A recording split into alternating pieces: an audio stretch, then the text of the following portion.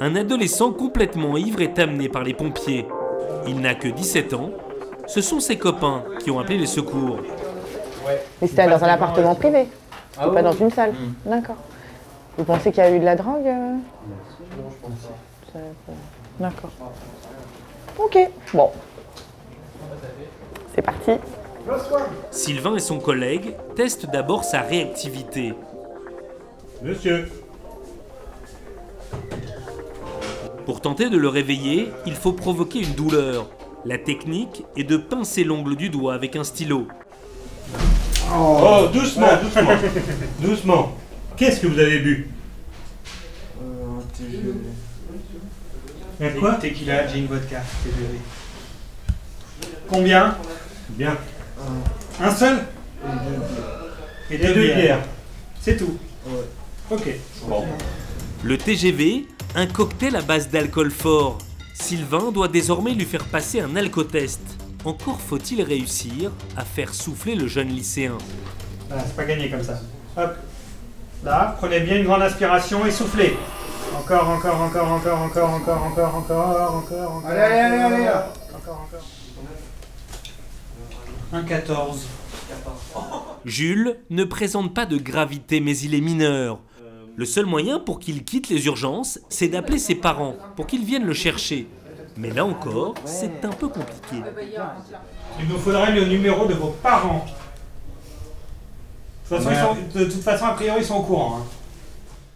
Ces jeunes du 16e ont souvent du mal à donner ces informations, de peur d'avoir des ennuis.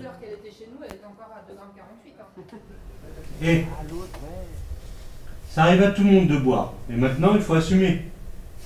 D'accord? Bon. Alors maintenant, il nous faudrait le numéro de téléphone de tes parents. C'est pour le dossier. Le discours de l'infirmier finit par payer. Sylvain se précipite pour écrire sur son bras. Et le dernier complémentaire? 80. 81. D'accord. Le jeune garçon est placé dans un box pendant que le docteur Aroui prend connaissance du dossier et découvre le fameux cocktail TGV, tequila, gin, vodka. Oh Hein ah, ça, existe ça. Hein. c'est vilain. Tu l'as vu Je vais là. Oh. Ils arrivent en TGV Oh, c'est moche. Oh, le pauvre. Oh, ça me fait de la peine pour lui.